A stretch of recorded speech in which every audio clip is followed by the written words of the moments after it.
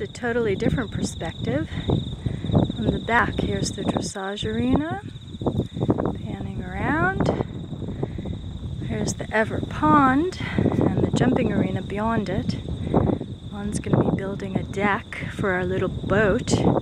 We've had pretty much a summer drought, so the pond is really low. And there you go.